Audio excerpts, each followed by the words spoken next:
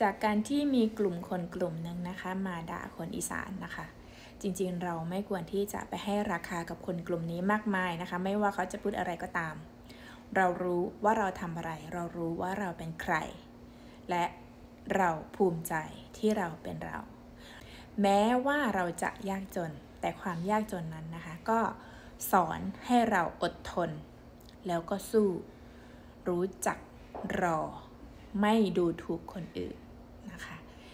ทำให้เราพยายามที่จะมีชีวิตที่ดีกว่าใฝ่เรียนเป็นหัวหน้าคน ได้เดินทางไปประเทศต่างๆ เรามาที่สหรัฐอเมริกาเราไม่ได้รังเกียจความเป็นลูกอีสาน หรือบ้านเกิดเมืองนอนของเรานะคะ แต่เพราะเรารักดีค่ะ เรารักความก้าวหน้า เราแสวงหาความก้าวหน้า และ เราก็ประสบความสำเร็จดังใจหวัง เราสามารถดูแลพ่อแม่ได้ อย่างภาคภูมิไม่มีใครสามารถที่จะมาทำให้เราต่ำลงได้ เพราะเราเชื่อว่าจิตใจเรามันดีนะคะ เรามีคุณธรรม เรามีศีลธรรม เราเชื่อว่าเราเก่ง เรา